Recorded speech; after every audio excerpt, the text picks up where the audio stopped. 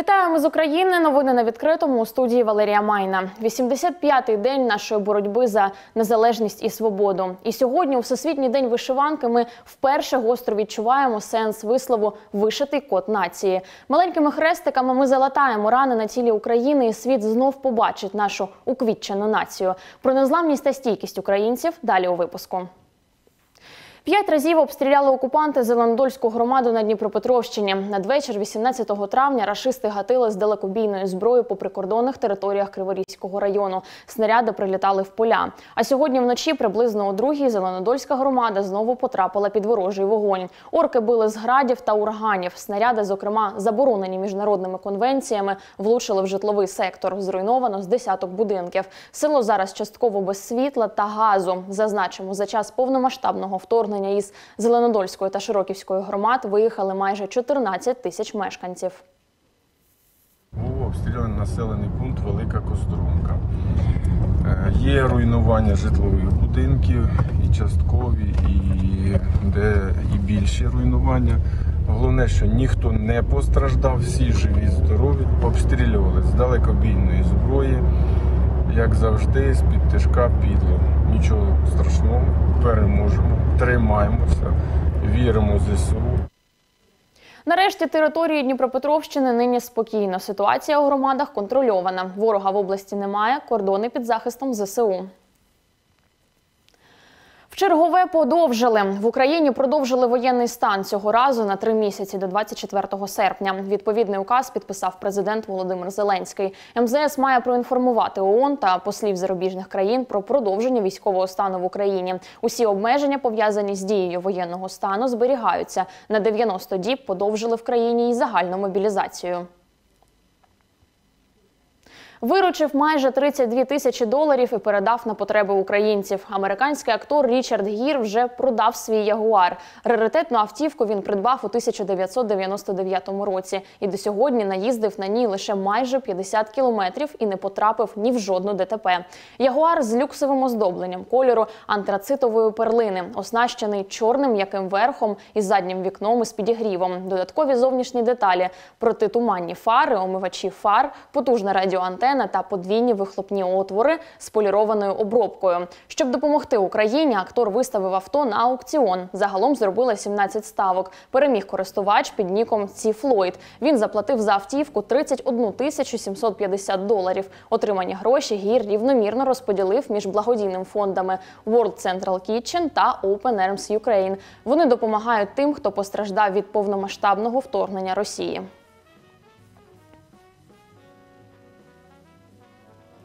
Підтримати українських захисників малюнком. Один з благодійних фондів спільно з Укрпоштою створили проєкт Малюнок герою. Кожен з будь-якої точки світу може висловити вдячність та свою любов нашим бійцям. Зробити це просто намалюйте картинку та надішліть її на адресу відділення Укрпошти на Хрещатику. У листі необхідно вказати, кому саме ви надсилаєте малюнок: військовослужбовцю, лікарю або ж рятувальнику. Всі роботи публікуватимуть на Фейсбук-сторінці проєкту Малюнок герою. Півтисячі робіт, що оберуть рандомно, увійдуть до цифрової колекції. Її планують продати, а виручені кошти спрямують на створення дитячого садка майбутнього. Малюнок герою можна відправити до 17 червня.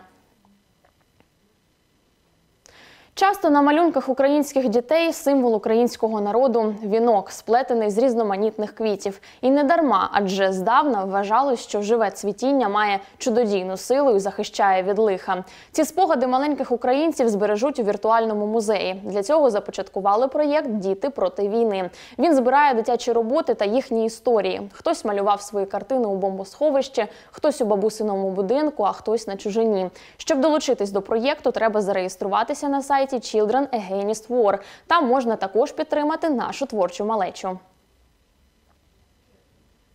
Знати свою історію та традиції у Дніпровській творчій майстерні до Дня вишиванки діти малювали традиційну українську одежину. На творчому занятті хлопчики і дівчатка обирали яскраві кольори та малювали орнаменти. Про творчість маленьких художників далі. Взяли маркери та почали творити. До Дня вишиванки в одній з майстерень Дніпра дітки дали волю фантазії та малювали козаків та україночок у традиційних народних вбраннях. Маленьким художникам від п'яти років. На початку занять дітлахам розповідали українську народну казку про козака Івана та його наречену Зоряну, аби надихнути малечу на творчість. Зоряна вишивала йому вишивку, е, і кожним хрестиком вона надавала сили. Е, І коли на нього напала орда, він приклав свої руки до вишивки і відчув все те, що вона туди закладала. То було і про сміливість, і про силу, і про любов до нього від своєї жінки. Надихнувшись казкою, діти почали творити. Так шестирічна Олександра для вишиванки обрала рожевий та сині кольори, зображує квіточки та геометричні фігури. Буду рисовать э, дубы до берега и волны до берега. А от маленька Зоряна малює свого козака у вбранні, на якому переважають жовтий, блакитний, червоний та чорний кольори. Каже, обрала їх не просто так. Для мене ці кольори традиційно українські. Тут я малюю ромбики з крапочками. Тут воно оберігає від нечисті всякої, щоб вона не, за... не залетіла. Я намалювала там орнамент на грудях, і це захищає мого козака.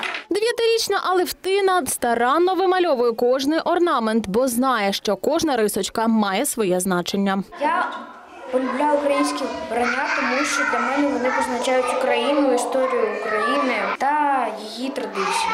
Кожен колір чи відтінок має особливе значення та навіть історію чи традицію. Білий колір означає невинність та чистоту. Чорний вважався символом багатства, родючості, а подекуди навіть смутку. Червона вишивка символізує любов, енергію життя та оберігає від лиха. Синій колір душевного спокою та одужання. Тому каже мисткиня Ольга Скуратовська, важливо доносити до дітей історію традицій українського народу з маличку. Каждый цвет у нас приносил либо силу, либо смелость, либо был защитой.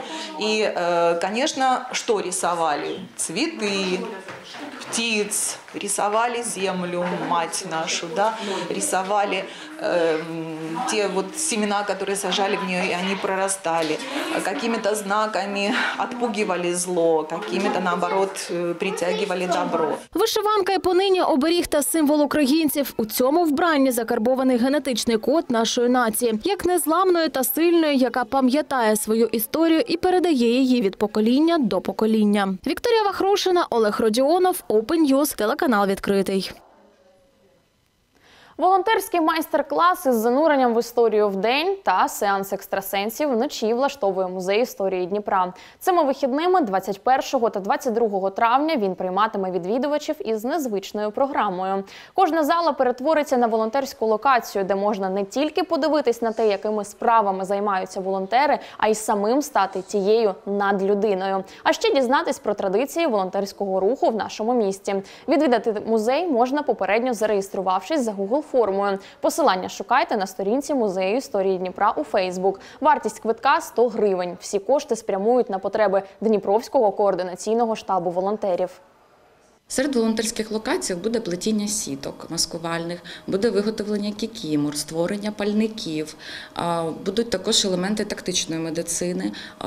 І збір аптечок, цивільних, військових, виготовлення оберегів. На вході до музею ви отримуєте карту локацій і зможете самостійно подорожувати залами музею, обираючи для себе той вид волонтерської роботи, який вам зараз цікавий.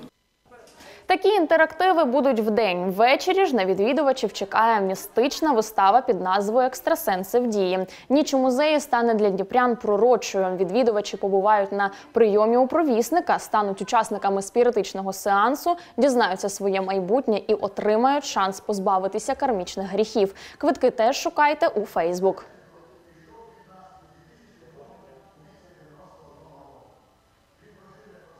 На цьому в мене все. Ще раз вас зі святом Днем вишиванки. Україну не розділити, бо її зшиває міцна нитка любові. Сьогодні вона єднає українців по всьому світові. Уже близько той день, коли ми одягнемо вишиванки в день перемоги над рашизмом. Віримо в ЗСУ, віримо в нашу перемогу, віримо в Україну.